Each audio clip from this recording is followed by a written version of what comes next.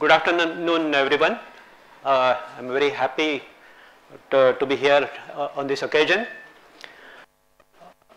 Uh, firstly, I'm quite impressed with uh, this initiative of a science colloquium in a university and uh, I'm also impressed that uh, Professor Karmalkar personally for such an occasion. So I should thank him for uh, not on uh, for the support for such an activity and for uh, taking interest and being present uh, in person.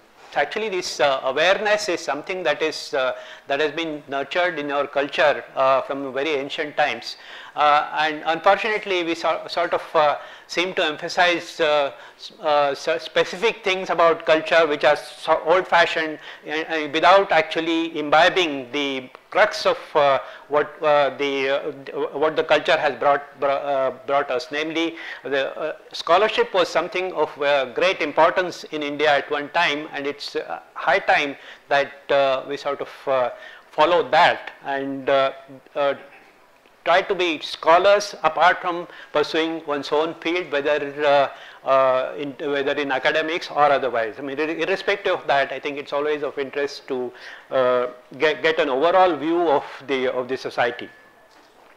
So uh, in, it was in this context I was very happy when I got the invitation from uh, Professor Kumbar. I mean the official invitation from is of course from the, the VC uh, to make this presentation. So aware of the fact that I'll be addressing a much wider gathering than, uh, than I, my usual uh, audience, uh, I had to choose something which in which I can hope to convey a little more. Of course, mathematics is, is to have uh, is uh, is something of a vast subject and I need not uh, tell you this. And nevertheless, I wanted to pick something which has engaged mankind through uh, ages and uh, uh, continues to be of something of importance and so in that respect I came up with the idea of talking about equations, inequalities and their solutions. Now, uh, as you would imagine, equations is something very, uh, very critical, very basic to mathematics. Uh, I mean, if I think if you if you are in a general conversation and want to characterize what mathematics is, it's always uh, I mean, uh, numbers uh, and their interrelations which are mostly in the form of uh, equations, inequalities and other than that you of course have uh, uh, the shapes, geometry. But of course, but geometry is also deeply interrelated to equations thanks to some of the, the, developments that you know and maybe we will have occasion to see through this in this lecture. Yeah, so uh, uh, I refer to very ancient times, so uh, it may be, yeah. So uh, one of the earliest equations which has uh, captured the imagination of uh, people across cultures is the equation x square plus y square equals z square. Now everybody in the audience would have come across this equation. It's well, I'll probably not spend time asking people uh, when they learnt it. It, is, it comes from the Pythagorean theorem. You know that uh, if you have a right angle triangle, then the square on, on the hypotenuse is the sum of squares of the on the other two sides. And uh, also the other way, that is if you have a triangle who such with the property that the uh, square on the hypotenuse equals the sum of the other two, then it is a right angled triangle. And uh, what is not often realized is that this converse property has been very crucial for ancient uh, civilizations and it was it's uh, actually believed uh, that uh, the in the construction of the pyramids when, which are some of the oldest and magnificent structures, they needed to draw, need, needed to get uh, right angles, right? I mean, the two, uh, the, the base is a square, so you need to, uh, to, to be able to draw right angles. And in that, it is believed that they used this property of triangles that if you have uh, the Pythagorean uh, property which I recalled, then you would get a right angle triangle. Now, about the Egyptian civilization, this is uh, somewhat of a surmise which uh, people haven't actually been able to confirm from uh, the available evidence. But on the other hand, in the case of uh, India, there is a very definite uh, evidence, I mean that uh, the, this property was used. Now, the our knowledge of history in India goes back at least to the Vedic period and the, in the Vedic period we had the, uh, I mean the emphasis that there was, you, you, would all have heard of the yajnas uh, which played, and played a very important role. And because of the importance that it had uh, there is a lot of intellectual activity that happened around that and in, that included uh, geometry. And the uh, way, uh, Vedis that the fire altars that they had they, they were constructing for the yajnas unlike uh, what you see in the weddings and such functions today they were not just small squares. They were actually some huge uh, figures and very intricate shapes like the falcon or the uh, turtle and so on these uh, animal shapes or even the, trays with uh, variety of kinds etc and the sizes uh, would uh, the size of the fire altar itself would be from 15 feet across, uh, across 20 feet etc. So, some, something of that size would be involved. Now, if you want, if now I am emphasizing this because if you say if you take a a4 paper, usual paper and you want to draw a right angle, it's with a bit of practice you can just do it by, by hand without the aid of any uh, devices. On the other hand, if you want to, if you need right angle triangles of that size, you need something, something of an equipment. So, you need to understand some geometry, basic geometry be, be, uh, so that you can do it efficiently and in that respect uh, what I mentioned about this uh, Pythagorean property that uh, a triangle with uh, whose hypotenuse squared is the sum of the other two squares is a right angle triangle was used for constructing right, right angles in, the, in this context. And uh, here we have listed some uh, uh, triples 3, 4, 5. Now this has a property 5 square is 3 square plus 4 square. Uh, similarly 13 square is 5 square plus 12 square etc. And these uh, triples are actually mentioned in uh, what is the, the Baudhayana Shulva Sutra which is believed to be from 8th century BC. So, uh, as far as uh, back as that one had uh, the aware awareness of this property and it was uh, used for uh, constructing right angles. Now, uh, okay, I, I, don't think I'll go, it's, it would be sort of interesting to describe how this property is used. So, may, maybe I'll spend a minute trying to do that. So, they would, they would have let us say a long uh, rope of a certain size, then you take uh, mark the midpoint m, then uh, you, uh, you again mark a midpoint which is which is an easy each of these is an easy process and again mark a midpoint of this here and notice that you now have a rope where this is and this are in the proportion of 5 and 3 right. Now you take a pole mark two points at a distance 4 and stretch this rope in, in, in this way. Uh, you hold at, the, at this mark here that we have. And uh, the two ends are tied to this uh, yeah, uh, this is uh, arranged like this is 4 units. And you take this rope and hold, hold, hold at this mark and stretch it in this way, you have this, this, this is in the proportion 5 and 3. So therefore, you get a right angle here. This is how they constructed the right angle uh, using this particular triple. Now there are also certain uh, constructions in which they use some of uh, used uh, 5, 12, 13 and in the Apastamba Shulva Sutra which is another Shulva Sutra of a similar uh, analogous period the, uh, there, is, a kind of illustration of how the other two, other three triples can also be used. So this is just a sort of historic introduction to, to this idea of uh, using the uh, equations x, x square plus y square plus uh, equals z square. So now uh, we will later come to the uh, idea of how this sort of goes spreads into in different directions, uh, but for the moment I am going to some to another equation which in a sense is, is simpler than this though its appearance and the, the attempts to solve it are somewhat later in some sense. Oh, uh, okay. No, I wanted to say something about, sorry, before I go to the next equation, uh, the, this equation itself, uh, I, I, should uh, uh, let you know what, what uh, how it developed in other, other cultures. So, the, the equation was considered by Greek mathematicians, among them Pythagoras is of course uh, well known the figure. Uh, Plato is usually thought of only as a philosopher, but actually he had contributions to mathematics in a certain form and uh, in particular this uh, equations of uh, this system is something that is featured in that. Now in uh, one of the basic works in geometry as you know is Euclid's Elements from the Greek tradition.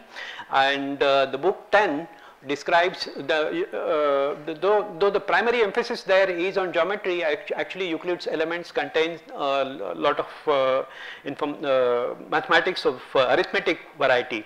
And uh, uh, Euclid describes all solution all such triples. So, you are interested in triples of integers where the sum of the two of them square sum of squares of two of them equals the square of the third and uh, Euclid describes that all these will be in the of the form n square minus m square as is one uh, entry 2mn is the is another entry and n square plus m square is the third entry. So, the point uh, is that in case uh, you have not seen this already when, when you square the term n square plus n m square the square of that will be the square of the other two which is it's a it's an easy easy thing thing to check and uh, the statement an assertion here is that all all the tri triples with the property can in fact be written in this form as we take m and n uh, any two natural numbers then uh, this with this will always have the required Pythagorean property and, and uh, whenever the uh, Pythagorean property is satisfied the you will still have you that will hold. So, for instance 3 4 5 you take you start with the square m uh, uh, uh, n equal to 4 I mean n square equal to 4 that is 2 square and take the other one to be 1. So, it is 4 minus 1 and 4 plus 1 and the, four, the other third term will be 4. So, similarly all these can arise from that general expression. So, for this equation we not only know uh, the uh, we have seen geometric uh, uses, but also uh, that uh, there is a there is a complete way of understanding of what all solutions are. Now, this is uh, something of a goal in in all respects might sometimes, but very often one can one reaches only part of the way. So, that is just a philosophic point that I want to make about solutions of equations. Now, uh, let us get down to something that actually looks much more simple. So, ax plus by equal to c. So, uh, you have uh, here a and a b and c are uh, given. So, you have two quant quantities, two numbers and you want multiples of them to add up to a given number. So, you have a and b are given and you want to find numbers in, uh, x and y such that the sum ax plus b uh, uh, by equals c. Now, to find solutions as real numbers or rational numbers is not difficult. You simply, uh, I mean anybody in high school would uh, just take, uh, you, you take take the term b ax to the other side. So, you will have you really want to solve by equal to c minus ax so, uh, if of course, if b were 0 then there is no, nothing to uh, then easy, uh, it's easy to see what to do and if b is not 0 then you will get y equal to c minus ax divided by b that will be that will be your solution. Now, the uh, issue is that uh, even if a, a b and c uh, are integers a b and c are integers what you uh, arrive at will not be in, in, will not in general be an integer it will only be a rational number right but uh, in various contexts it is important to know integer solutions which is uh, integer solutions xy. Now, uh, let me give an example. So, I mean in fact this equation arose in the primarily uh, in the context of mathematical astronomy. Now, uh, you have different planets moving at different uh, different with different periodicity and uh, I mean the, you know that uh, the, the, the, important things like Ashtagrahi where when uh, there is a conjunction of all uh, uh, all planets all planets will be seen all the eight um, planets being aligned or so forget about eight. If you even if you have want to know when two planets will be, will be aligned you will have an equation. So there is a periodicity of each of those. So certain multiple of period of that added to the initial position should actually bring you to the to equal position. So, if you uh, think about it, so you will see that the uh, condition for alignment will give you an equa to equation uh, of this form. Uh, so ax plus by equal to c. And you want to find integers. What is the number of times of one of them? Number of times with the of the other uh, uh, of the other will bring together will together make a difference of bring them together. Then that's equal, equal to c. Okay, so uh, and uh, as I said, it's in uh, it comes from mathematical astronomy, and there's a lot. Uh, I am going to say more about how uh, uh, the its history in India and so before that let's recall I mean this probably this should be able to recall from your school mathematics there is something called the Euclidean algorithm and Euclidean algorithm you would have learnt for finding the greatest common divisor of uh, two numbers. If you have two numbers let us say uh, 10 and 15 and you want to find the uh, GCD, the, the greatest common divisor of that, what would you do? You, you take the bigger one, you subtract the sm uh, smaller one from, from that and you get a get uh, the, the, uh, what remains now is that the smaller number and the difference of the uh, of the earlier two. So okay, so now you repeat the whatever is the bigger you, uh, from that you subtract the smaller one and then you get a new pair of uh, numbers where the uh, the maximum size has now has now decreased. And you know that ultimately this leads you to the uh, greatest common divisor of the uh, uh, of the two. So Uh, I, I, suppose this, this, should be very clear, so I will not spend time on uh, elaborating on that. So, uh, and the Euclidean algorithm uh, is uh, used for finding finding the not only the, now you can get the greatest common divisor, but uh, it also gives you a way of solving the equation, so solving this equation. The roughly the point is the, is the following.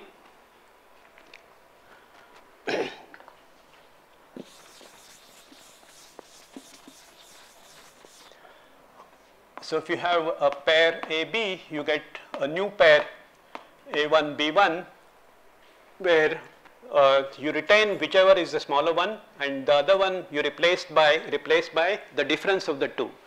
So, I am deliberately putting it in a, in a way that can that can be continued. So, now from you do the same thing again.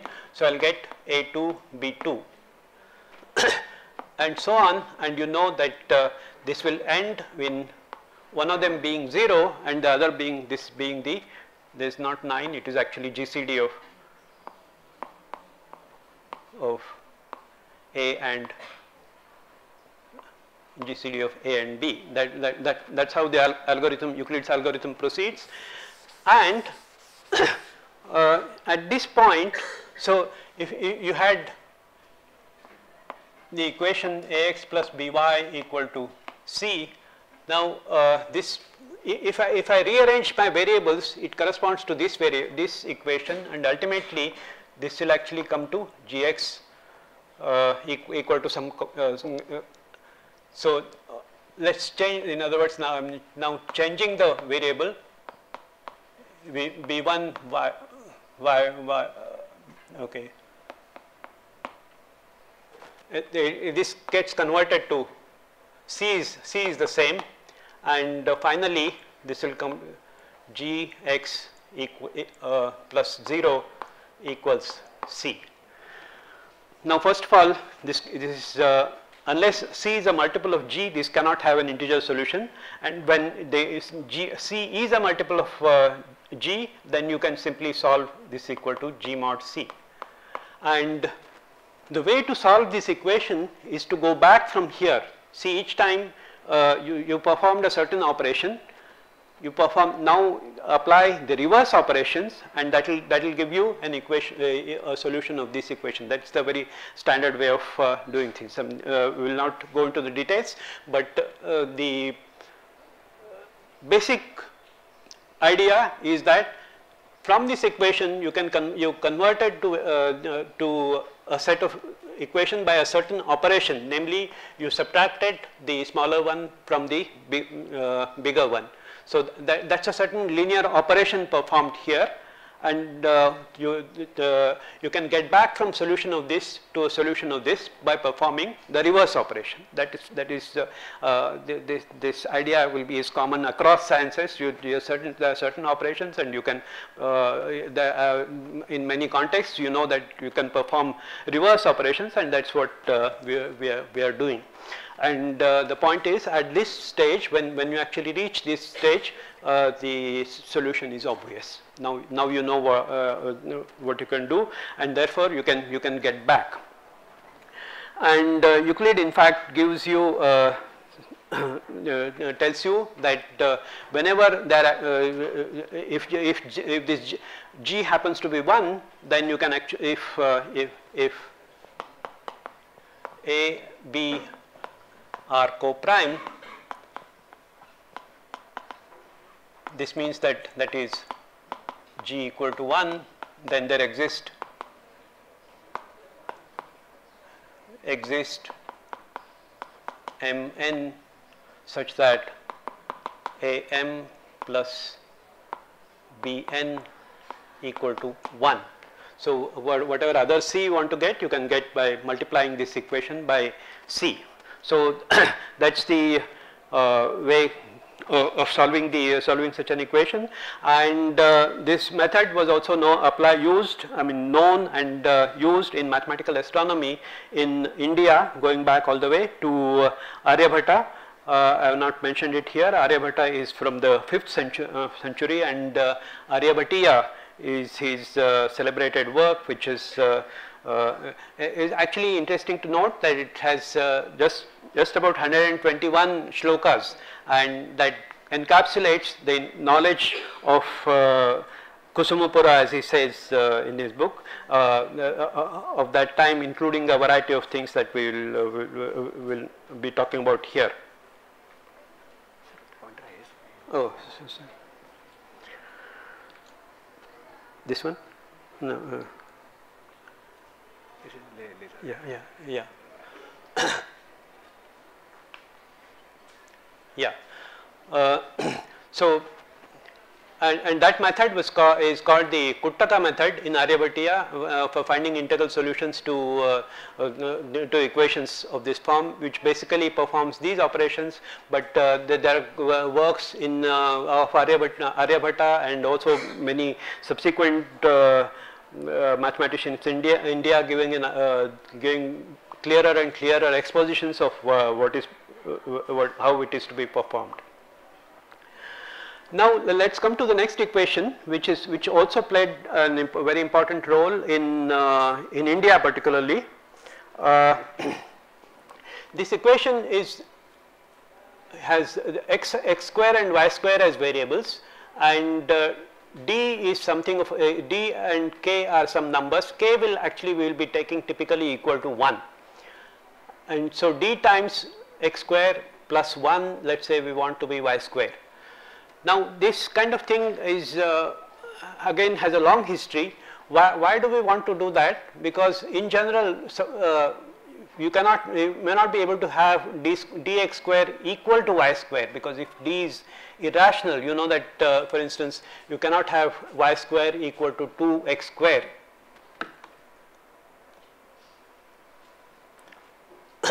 y square equal to 2x square may not, may not be possible.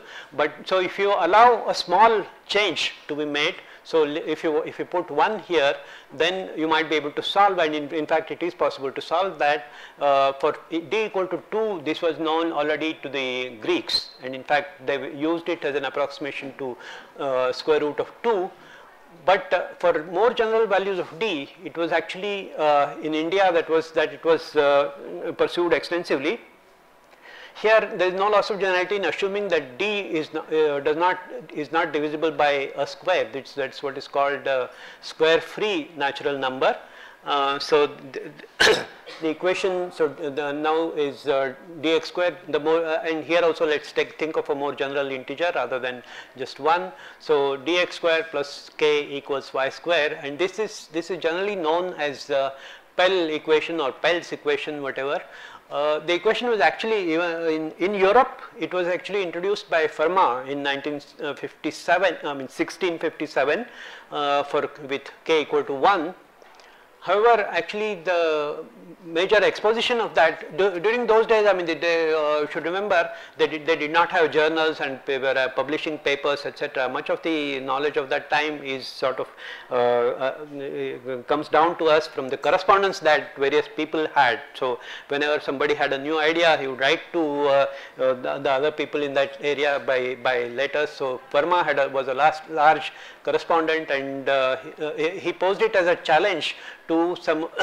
uh, to English mathematicians. He was a Frenchman and there was a big rivalry between the French and the English and the uh, Fermat had proposed posed this as a as a challenge for particular values of D uh, and uh, yeah.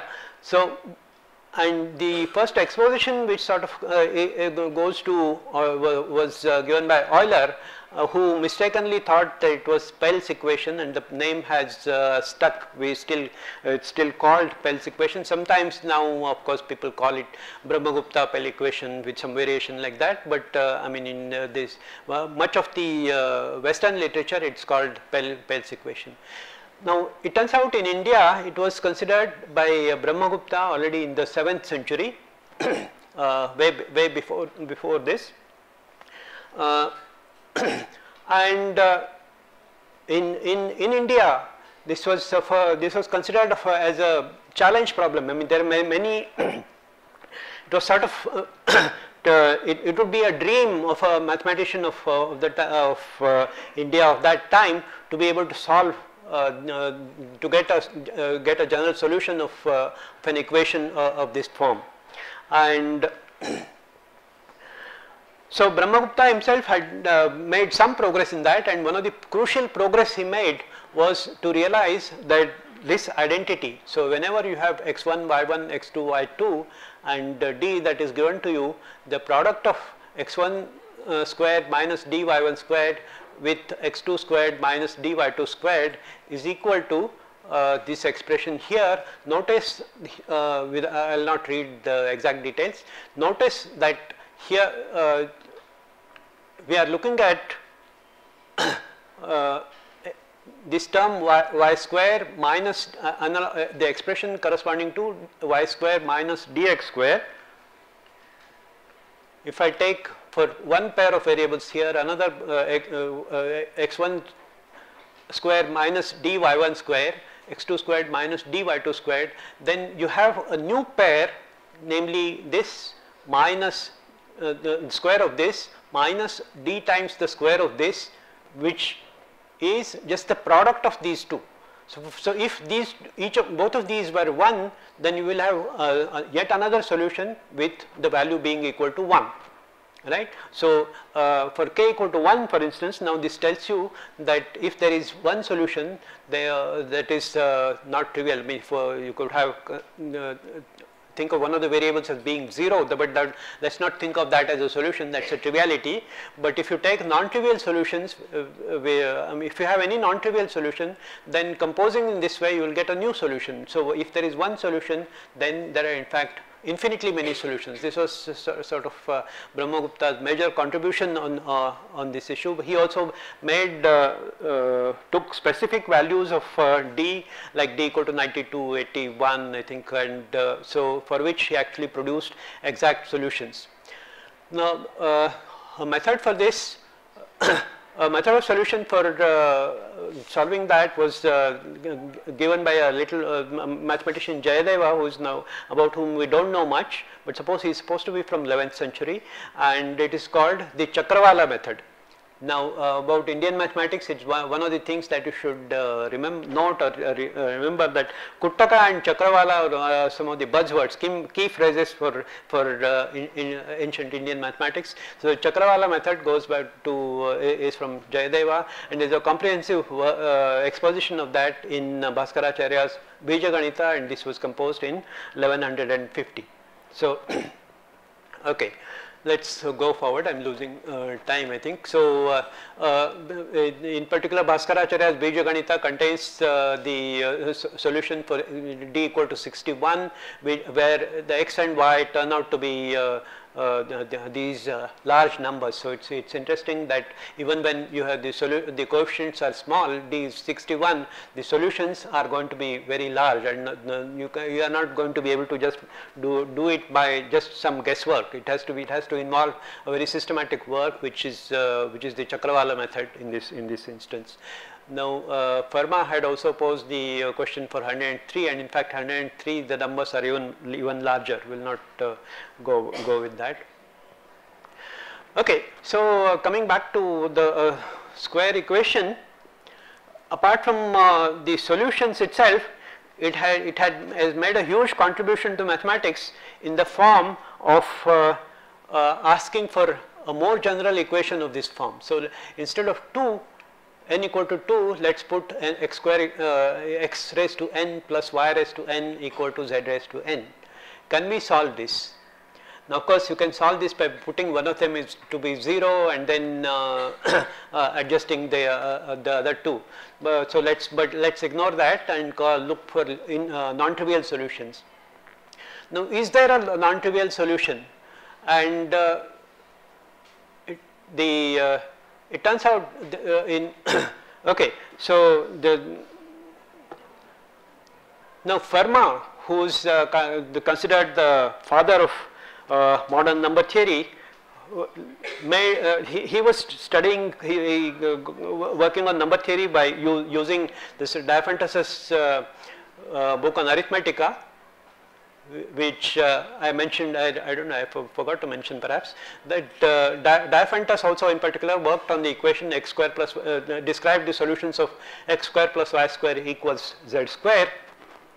And uh, in the, the, copy, in his copy of Arithmetica where x square plus y square equals z square is discussed, Fermat made a note in the margin that uh, uh, though for n equal to 2 there are many solutions, there is no solution when n is at least 3 and that he had a remarkable proof which which this margin is too narrow to hold. That is uh, that is how it is is uh, words are translated. The original is in Latin and uh, uh but mathematicians struggled for quite long to uh, try to discover what is what his remarkable uh, proof was now it's very doubtful if he had any uh, any proof or uh, I mean uh, he might have thought of something as a proof during his uh, I mean this and remark might have been made during his uh, young years. And uh, I mean this was still in some correspondence so maybe he did not pursue that.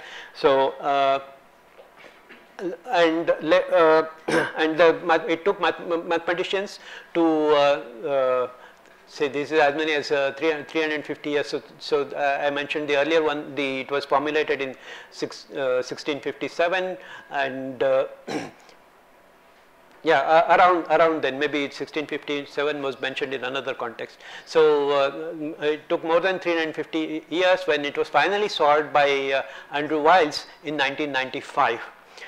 But before that, there is of course, uh, I mean, it, this, is, is, one of the one of the dream problems. As I mean, in mathematics, uh, in many any science, I think there is always a certain thing that is guiding uh, the, or, or, sort of uh, uh in the in the uh, something that one aspires to do. And in, in mathematics, I mean, in, in, all the way until my student days, for instance, it was all, all the, Fermat's uh, last theorem. This the, the, statement, this statement uh, that, this has no non-trivial solution is called Fermat's last was called Fermat's last theorem, and it was solved uh, in, in, 1995. So before that of course there were, there are many partial results. Fermat himself had given proofs for n equal to 3 and n equal to 4. Now uh, one might wonder why uh, if, if he said he had a proof for everything why he gave a proof for uh, only n equal to 3 or 4 but there is presumably a time gap and sometime he in uh, his correspondence he explained proofs for n equal to 3 and 4 but uh, the um, what he had in mind about uh, other values is not known. and uh, I mean there is a, a, variety of progress but I just want to name uh, mention one name and uh, Sophie Germain uh, especially because this is a woman mathematician uh, and of whom uh, few of us and it, we should always celebrate whatever the contributions that the few women have made and in on such a celebrated problem again that uh, Sophie Germain proved that uh, if you take a prime number between 3 and 97, basically uh, it's, it's, it's enough, it suffices to look at n a prime number other than 2. And so then the, the for n, the, if the prime number is between a uh, 3 and 97 then uh, Sophie Germain proved that there is no non-trivial solution and uh, not only that her method was quite strong enough and by making some extensions of that Dickson later proved uh, say, proved the same claim up to for primes up to 1700. Okay. now uh, another uh, let me go over to another problem of a similar kind. so here we have the equation x square plus x1 square plus x2 squared plus x3 squared plus x4 squared equals n. So, we are given some number n and you want to know x, uh, whether it can be written as a sum of 4 squares. Now, this is something for small values you can try and convince yourself that this is actually true and uh, in fact Lagrange uh, proved way back uh, that uh, this is this can this is uh, true for every integer. No no matter how large a number you take uh, for n here you can will always find uh, integers x1 x2 x, you can always find x1 x2 x3 x4 we, the we, integers so that it is the sum is equal to n. And there are variations of, on this theme uh, that are uh, replete in mathematics of that kind uh, of that time. And Ramanujan described 54 such expressions which uh, by such expressions we mean you can introduce various coefficients here. And uh, um, Ramanujan described uh, 54 different expressions of this form with some coefficients involved for such that again you can solve these equations so, solve you can, so the, the values of that expression on uh, different you, when you take different in, integers here uh, cover all natural numbers. So that is to say that if I have some coefficients certain coefficients given by Ramanujan and uh, uh, then I can solve so that equation for any n here. Now based on that uh, there is something called the Waring's problem and so the David Hilbert, Hilbert is uh, a very important figure in mathematics. Uh, he showed that for any what, whatever natural number, so not, just 2, but if you, instead of uh, 2 here, if you had any particular natural number, then you know it's not 4 is not enough, but you will always have for, for, any number k there is some uh, number g, g of k such that every natural number is a sum of at most gk kth powers. So, here you see that uh, uh, every natural number is a sum of 4 squares. Similarly, it turns out that uh, every this g3 equals 9 means that every natural number is a sum of at most 9 cubes. Okay. So, uh, by uh, this is uh, so G2 equals 4 is, is exactly what I what we said before. G3 equals 9 which means that every natural number is a sum of uh, uh, at most 9 cubes and the issue was to de determine what you uh, the value of k for more general values 2 3 uh, i mean beyond that and uh, again there are many indian names involved in this so uh, for k equal k bigger than or equal to 7 there was there is a lot of work by uh, uh, SS Pillai was uh, one of the mathematicians in the 50s, uh, um, I mean who passed away in 50 and, and Dickson. and Pillai also computed the values of uh, G6, so sum of 6 uh, sixth powers, similarly sum of uh, and seventh sixth. So every number every number is a sum of at most 73 sixth powers every number is a sum of at most 143 seventh powers. These are results of uh, Pillai. Similarly, there is the G5 is uh, 37 and G4 turned out to be a tough nut to crack and uh, it was pending for a long long time. You can see the time frame here this is 1912 uh, 1935, 64 and this was only in 1936 Balasubramanian who is one of my colleagues at Tata Institute uh, in those days uh, show proved uh, together with uh, French this French duo Deshouillers and Dress proved that G4 is 19 which means every natural number is a sum of at most 19 fourth powers. So, that is a bit of history. So now, uh, so far we have talked of uh, equations. Now let's, uh, I'm going, uh, there is also the term inequality that was used. Now what, there is a question of what is an, how is an inequality to be solved. But before that, let me uh, actually, before talking about uh, inequalities, let me actually point out that it's only in mathematics that you can, you often have exact equations. So in, in all practices, there is always an approximation to be made right you have, you have to allow for error. So in other words what you what, what you want to say is that uh, you, you don't you are not al not always quite interested in this expression having a particular value uh, I mean this this actually being 0 but if it is very very small then you are content right. There are many practical situations where you would like uh, uh, where you would like these to be integers, but uh, you, are happy if uh, instead of asking the, making this zero, you you can say that if it is less than 10 raised to uh, minus 100 or something like that, very very small.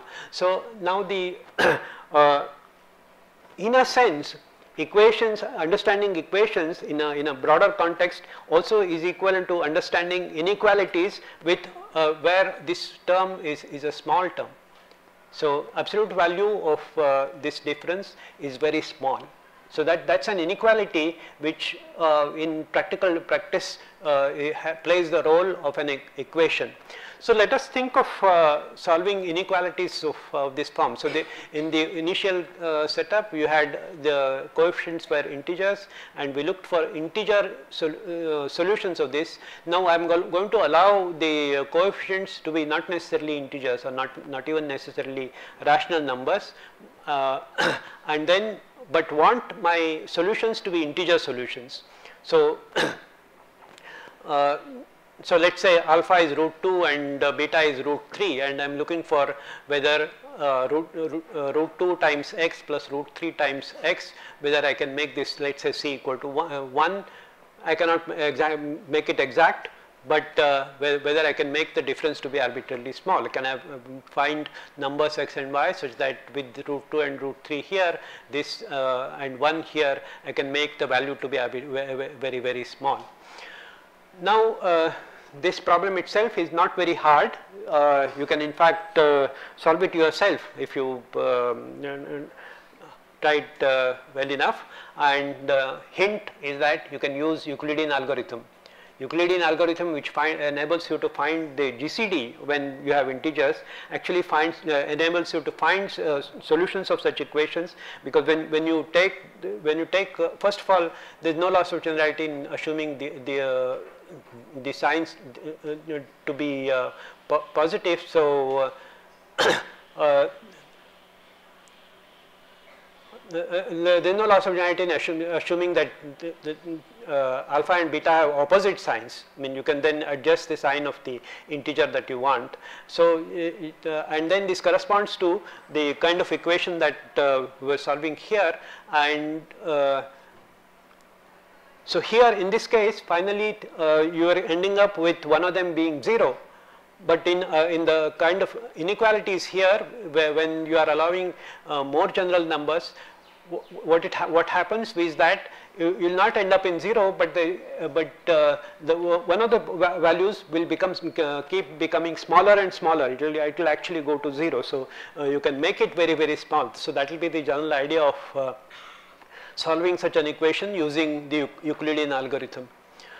Okay, okay. So uh, and similarly, instead of just one, I can have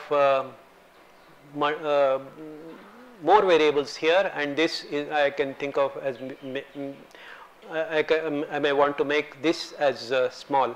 Of course, the way I have written the you, somebody might uh, in fact immediately say what what's the big deal? You could put some of them to be 0 and so you, you reduce the number of variables to 2 and then solve it.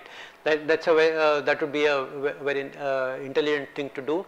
But uh, I have written it in this form because uh, instead of just one I can take more such inequalities and then that trick won't work. So you will you will need uh, some more effort but on the other hand it's, it's nevertheless uh, simple mathematics by which you can uh, you can solve a system of such inequalities and uh, get solutions uh, uh, of that system of inequalities.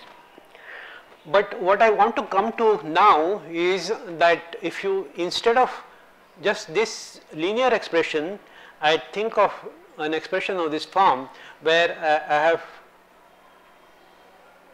sorry there is a typo here. This should be xi times xj. Okay? Uh, I'm sorry. So summation of aij times xi xj. You have a certain number of variables uh, x1 x2 xn and you, you're, you're taking product of xi and xj putting various coefficients and you want to know whether it, uh, uh it, it, it comes close to a particular value, particular given value. Where now here Aij uh, is a certain, I mean it's, uh, uh, uh, you can think of it as a matrix and you can also easily think of it as a symmetric matrix because this, this Aij is the coefficient of xi xj now xi xj and xj xi are same so I can put them together and make a symmetric matrix and I want to know whether uh, this expression can be uh, made less than epsilon. Epsilon here will stand for, a, for an arbitrarily small number. Now uh, this problem turned out to be quite non-trivial. So and uh, the rest of my talk is sort of going to be about a uh, bit of history of uh, expressions of that form and uh, the new techniques that it brought in. So the this in some ways goes back to uh, Hermann Minkowski of 1896 and uh, the, this the German term it's a geometry of numbers uh, which in, the initiated profoundly new way of finding integer solutions to a large class of inequalities. And uh, it gave, gave rise to a topic called geometry of number theory which is sort of in fact uh, many universities have courses. I do not know about uh, uh, your department here but uh, then uh, Professor Katre would probably have run such course is quite exposed to the topic and Uh, the, the, this is a uh, topic of independent. Uh, I mean, it's a it's a theme in mathematics, which is which comes from Minkowski's work. The basic idea here is uh, will not for the moment we will not think of very small uh, integers. So, if you think of a quadratic expression and uh, the inequality f quadratic expression by quadratic expression I mean something like this I mean, I mean this expression here let us forget about, uh, I mean there is a constant, there is going to be a constant, but uh, uh, think of this expression and that is my q x1 x2 xn and I want to make it less than a. So, the, if it is the, so in that inequality it will be c plus epsilon for instance. So, and uh, you know that uh, I mean uh, the numbers are related to geometry and geometry is related to numbers. I mean this is something we have uh, inherited from uh, Descartes. Uh, the, the, Cartesian geometry which you would have studied in dimension at least dimensions 2 and 3 uh, we, relates such expressions to, to geometry. So in this case let us say in the two dimensional picture we will be basically looking at a region like this and whether there is a there is an integer point there is a point within this region which has integer coordinates right? That is that is what uh, the question question would correspond to. And uh, Minkowski's major contribution was that uh, irrespective of how complicated this expression is, if you, you, simply have to look at the area of this and if the area is uh, at least 2 power n then there is an, uh, an a point with integer coordinates other than of course this 0 which will necessarily be a part of that and uh, if, if the area exceeds 2 power n this is Minkowski's theorem there is a point with uh, integer coordinates. Uh, an integer solution x1 x2 xn to the inequality different from 0 can be found whenever this has uh, volume exceeding 2 power n. So, that, that was a, was a remarkable step and then people followed it in, uh, geometrically I mean the expressions of this form and uh, as I said that has evolved into a subject by itself called the geometry of numbers.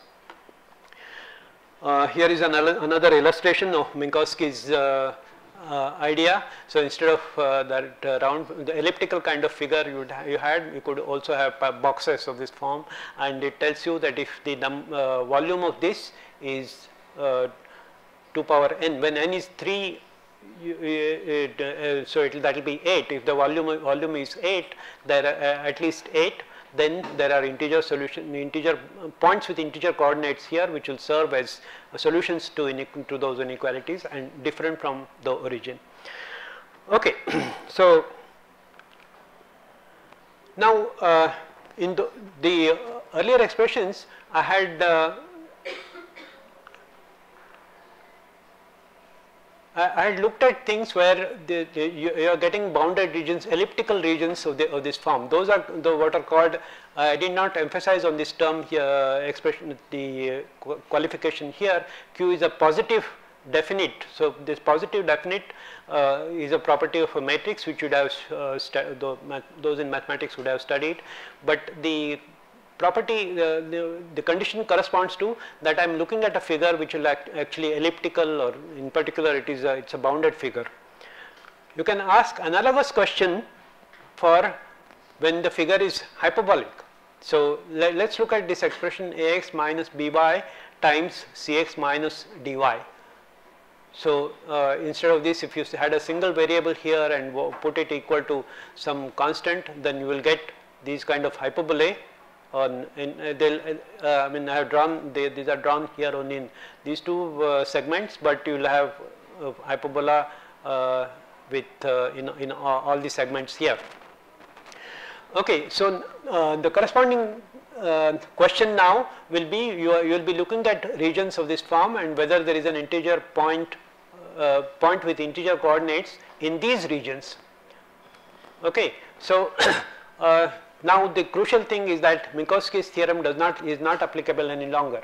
You cannot have uh, such a thing because uh, Minkowski's theorem had has a condition that the figure had to be uh, convex. So, with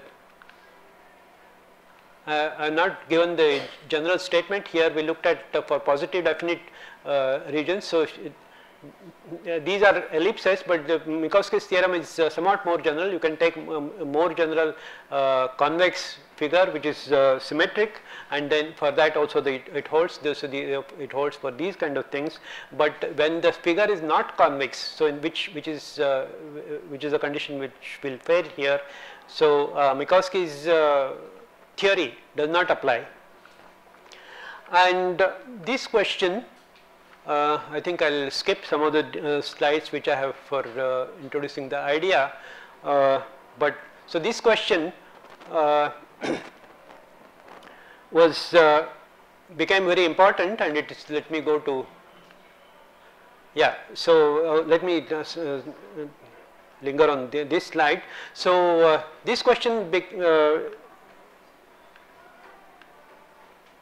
so here I have a uh, expression in, in just two variables and we can we can think of the original expression coming uh, having a similar form in uh, more number of variables. So, here the region is a is uh, between say uh,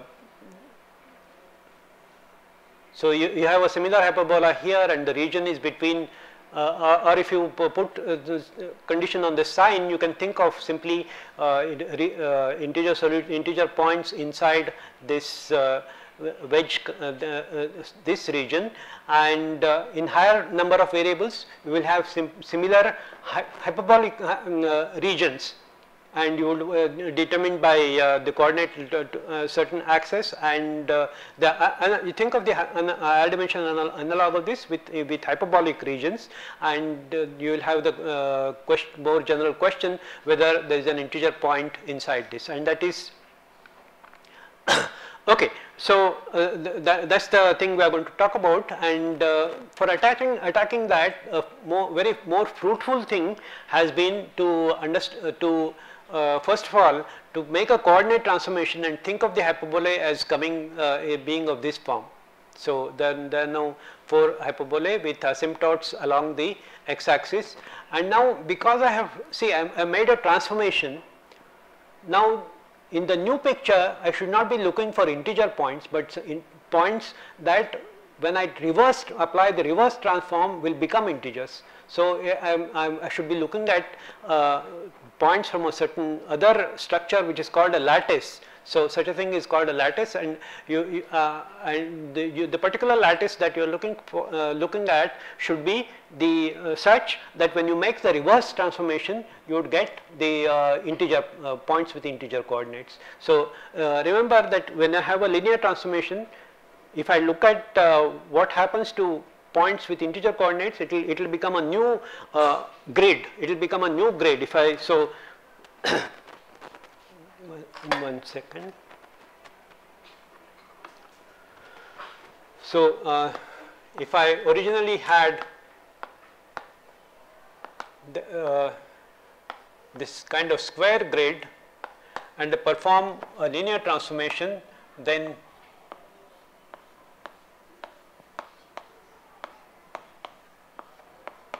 etc. It will become a new grid with uh, depending on the particular transformation where these angle and these sizes will, will get fixed. So, this grid will get transformed uh, you could uh, as a simple example you could think of if you just shear this. So, then you will have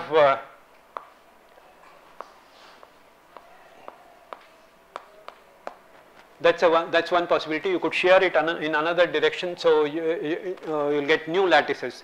So because i have performed a transformation i should now look at the image the po points in this region which are which uh, are belonging to that lattice. And this turns out to be a very fruitful uh, uh, point. And uh, okay. And the next observation which i'll go quickly is that now rather than thinking of the uh, individual uh, yeah so let, let me try to get across this idea i am looking at uh, these hyperbolae and, and, there is a hyperbolic region and there is a, uh, I want to look for whether there is a lattice and I want to know whether there are non-zero points of this lattice. Now I think of see along these hyperbolae there is a flow that can that one can think of. So, uh, if, if you think if you make think of coordinate transformations which stretches uh, along in one direction let us say stretches along x direction this is the, the, this is the transformation x y taking to e power t times x and e power minus t y. So, this this will stretching on this in this direction uh, for uh, t greater than 1 and uh, contracting in this direction. So, the, uh, when I vary my t along real numbers. So, this point will be flowing along the, this uh, this hyperbola and on this side uh, on the uh, along the hyperbola and uh, on on all sides. So, now and uh, notice that the uh, value of the expression now that you want is com common along along these level curves these these hyperbolae. Therefore, rather than thinking of a particular lattice, uh, I can even think of the flowing the whole lattice along uh, the flow that I have and the, uh, the values will remain un, uh, the, the value along any particular hyperbola is same. So, because now I am thinking thinking of because of the transformation I am thinking of uh, the product of the two coordinates is, is my uh, expression and that, that remains unchanged. Okay, so rather than thinking of the flow action uh, flow uh, of the flow on individual points, I can think of flow on the whole collection as, as I said. So, they, they, now there is a certain uh, the, issue. Uh, so, we have now introduced a dynamics and uh, without going to uh, too much detail let me just say that the question is now reduced to one about dynamics of the flow.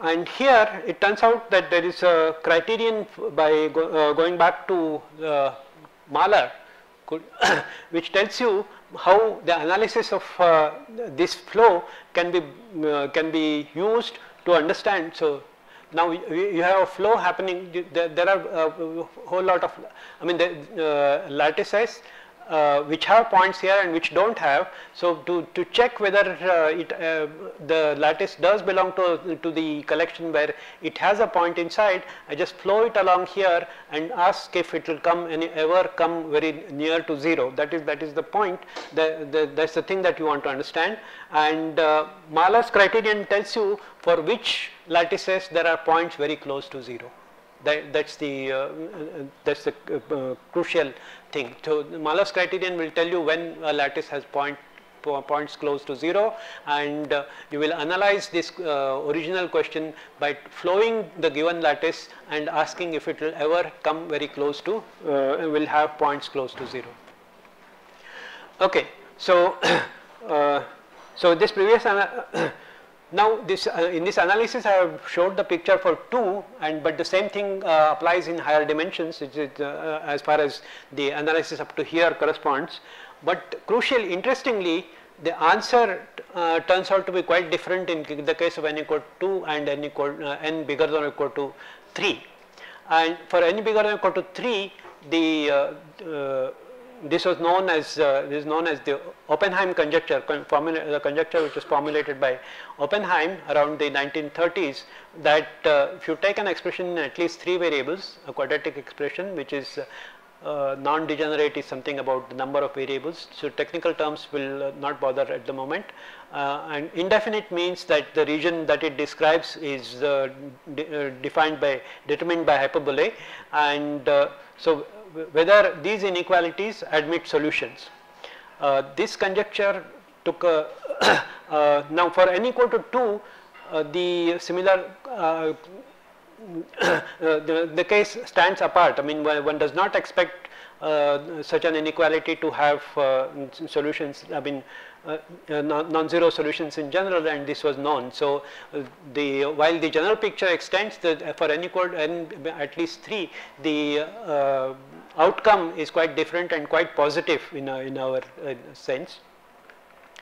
So, and the Oppenheim conjecture was settled by Margulis, who is one of the, uh, who is a Fields medalist. Fields medalist is a Fields medal is a coveted medal in mathematics, and uh, in '85, so more than uh, something like 55 years, uh, he, he uh, established the conjecture. Uh, of course, there are many partial results in between. I mean, it was a ma major problem. In fact, during my student days, it was something that we were, I was engaged with in pursuing. Not okay. So yeah. So, Margulis's theorem tells you that if you have uh, quadratic uh, form that is a technical term for quadratic expressions of that kind non-degenerate indefinite etc which uh, are properties that I described then uh, when the number of variables is at least 3 these inequalities always admit integer solutions. Now subsequent to Margulis's work I had an opportunity to work uh, together with him and we made uh, various improvements in that uh, we showed that uh, we could choose x1, x2, xn such that there, is no GCD which, which is which turns out to be useful in various con uh, contexts. Uh, the solution that it can, uh, I mean, where, where, I mean, about where you can locate these solutions also we made some progress, etc. So, okay, so I have brought out, I hope, the point that uh, the is issue about finding in, uh, integer solutions to inequalities is now transformed to a certain question about dynamics of certain flows. And uh, very important work uh, was done by this lady Marina Ratner on the uh, the nature of dynamics of uh, these flows. We will not to go into the details of that and uh, but that uh, that has been that has proved very helpful in uh, understanding those questions further I mean not only just one quadratic form you can have uh, the, the, the, various mathematical generalizations and uh, uh, Ratner's work gives a very profound basis for analyzing uh, in terms of dynamics for analyzing these questions. And the uh, as I, I think uh, it's sort of important in any science lecture that you not only uh, tell what uh, is known and uh, uh, but what the future direction or the future directions and what people are trying to do. Now one related conjecture so, there, there, uh, there is one related problem let us say is uh, which is something which one can communicate very easily is uh, uh before rather than reading let us focus on this expression look, look, look at uh, any uh, number, number integer n n times al let alpha and beta be two numbers which are let us say irrational numbers like root 2 and root 3 or pi whatever favor, your favorite irrational number. You take n uh, and this uh, this symbol denotes you take n times alpha you subtract the, the integer nearest to it. So, if, if this is, is between uh, 3 and 4 and closer to 3 than 4 then I'll, this expression will be 3 and so on. I mean the, uh, so there is a certain expression in terms of for every n given these alpha and beta I have this expression and whether this can be made arbitrarily small this, this is a mathematical way of writing uh, whether that this product of these three things can be made arbitrarily small whether you, you can find given alpha and beta whether you can find n such that say this is less than 10 raised to minus a million. So, and now uh, this is an, uh, this in its general form is still an unsolved problem one does not know what happens for uh, pairs of various pairs of uh, uh, irrational numbers. But a significant partial result was proved by Elon Lindenstrauss, the person in the picture and he got the 2010 Fields medal and uh, it's a part of the citation of his uh, medal that uh, he, he, he, made, I mean the progress that he made, I will not go into the technical details of what uh, the nature of the progress is. The problem as it stands uh, in its full generalities remains unsolved, that is uh, okay. But the partial progress that he made already earned, earned him the, the Fields medal. Okay, so Uh, this is just something to conclude with uh, my uh, further uh, preoccupation in recent years. So, uh, as I said the case of n, n we dealt mostly with n at least 3 and we had various yeah I stated various things about n at least 3 for n equal to 2 I was involved in the formulation but I said that the case is different. And that's something that we are, I have been trying to understand with uh, along with one of my students and we have made some progress. So of course now uh, I mean the, the, very reason why it, it, had to be excluded is that it is different. So you cannot make a, the same kind of general statements here. But the approach the issue is to understand uh, under what additional conditions uh, in, in, in what case in particular cases one can still push the uh, things and in what cases it will not. So, uh, how many solutions are there? Uh, I mean there, there are cases, there are uh, values for which there will be no solutions. But then you can try to understand which for which values you could still have solutions and how many solutions are there etc. etc. and that is some of the work which uh, we have done uh, that is with Manoj Choudhuri. Yeah, so th that's I mean it the that's something of an ongoing process. I just wanted to give a brief introduction to that. So with that, I thank you all for your patience and uh, uh, wish you all the best.